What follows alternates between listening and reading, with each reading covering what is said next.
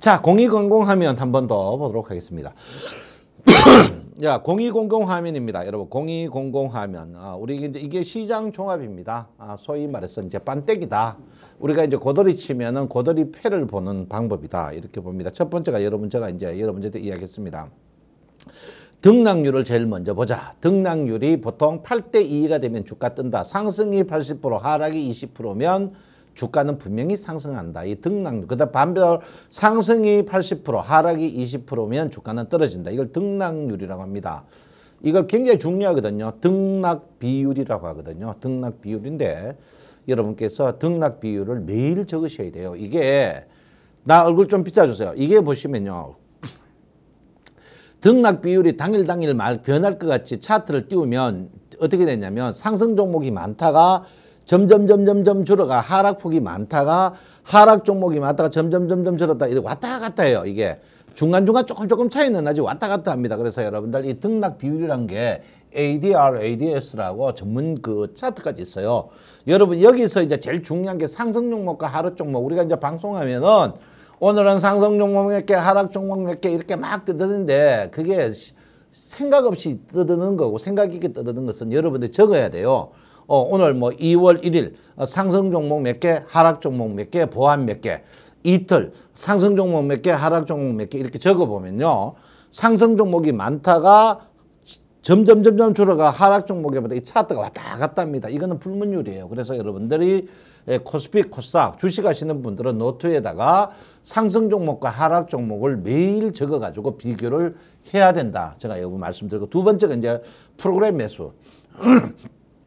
프로그램 매수를 굉장히 제가 여러분 이제 이야기했습니다. 차, 이 프로그램에서는 두 가지 종류가 있다. 차, 차익 순매수와 비차익 순매수가 있다.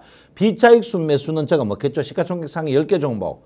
어, 그 다음에 차익 순매수는 시가총액 상위 10개 종목을 뺀 나머지 종목. 이걸 뭡니까? 자, 비차익 순매수는 사람이 주문을 내요. 사람이.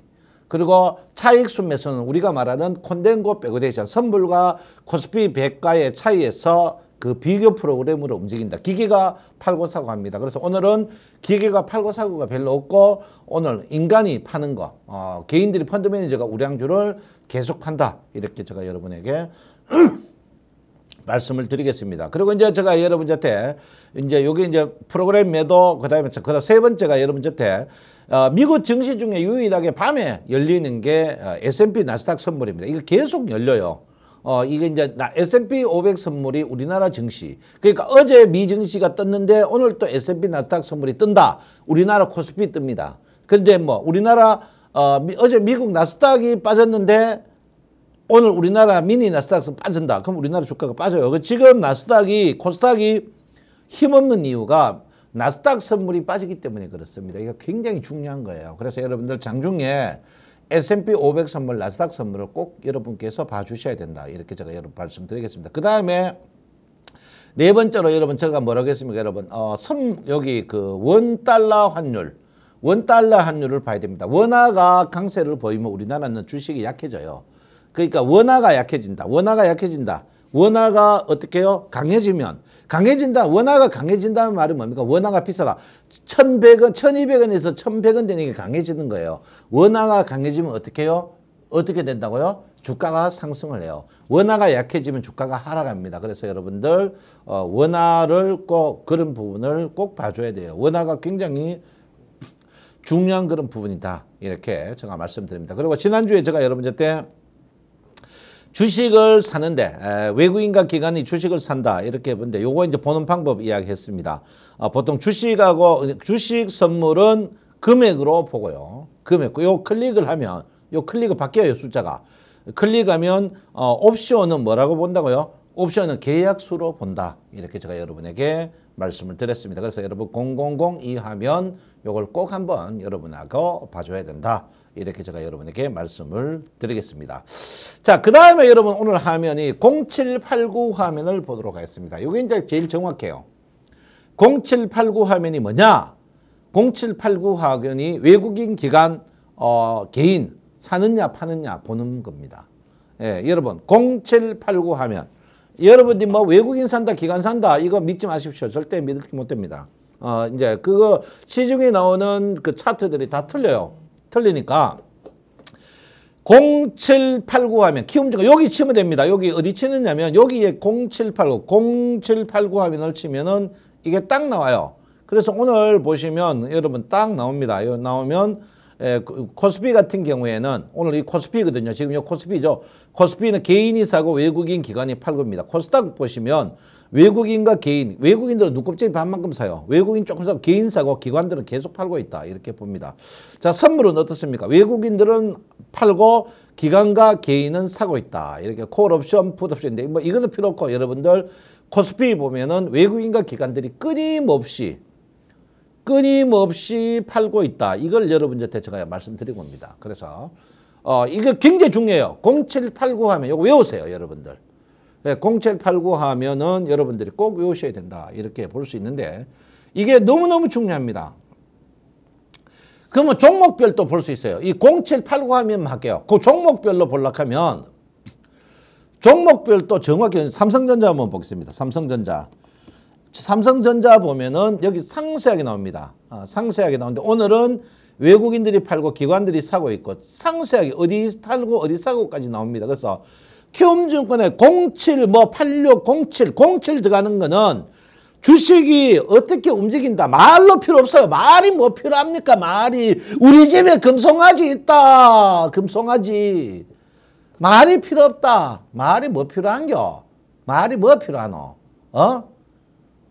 이거 눈으로 보세요. 이거는 데이터 인제는 못 속여요. 이거는 여러분 시중에 나오는 뭐 외국인 매도 매수 있잖아요. 동향 있잖아요. 왜 전체 나오는 거. 그 틀려요. 이거는 정확해요. 이거는.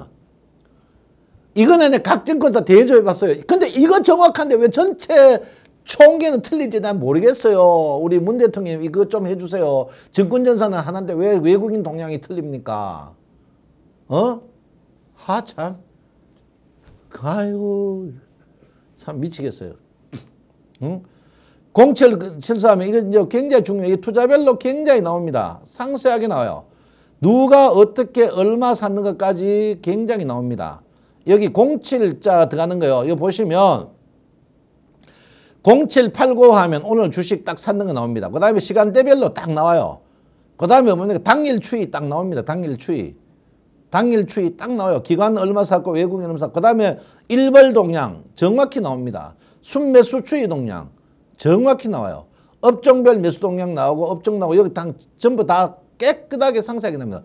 0789, 0789 하면이 제일 많이 나옵니다. 0789. 0789 투자자를 동향. 이거 제일 정확합니다. 그러니까 0780에서 이걸 보십시오, 여러분. 응?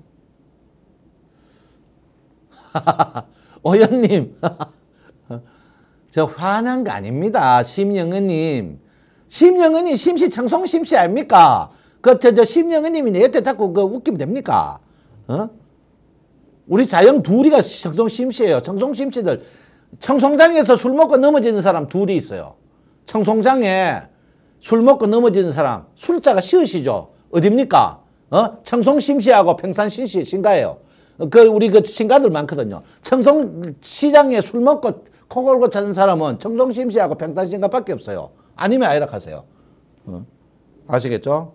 그래서 여러분 보시면 어, 아시겠죠? 여러분들 요거 어, 07 어, 0780 하면부터 여러분들 굉장히 좀 중요하다 이렇게 봅니다. 이거 굉장히 중요합니다, 여러분. 굉장히 중요하니까 여러분 0789 하면 이 종목 특히 제일 중요한 0789 하면 기관이 산다 판다 믿지 마세요. 절대 믿지 말고 0789 하면 이거는 절대 이거 절대 여러분 안 속이는 겁니다. 0789 하면을 꼭 봐라 이렇게 봅니다. 이걸 보면 어, 상세하게 여러분한테 볼 수 있다. 요 기간도 설정할 수 있어요. 어, 제가 12월 2일 날 했는 이유가 12월 달부터 기관과 외국인들이 계속 팔았어요.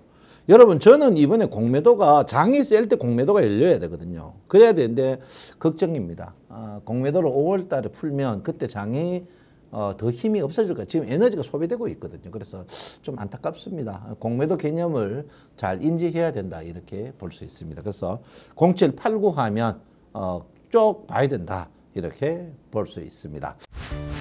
네, 선물 옵션 신규 휴면 고객이라면 수수료 최대 90% 할인, 최대 6개월 수수료 할인 받으세요. 투자 시 원금 초과 손실에 유의하세요.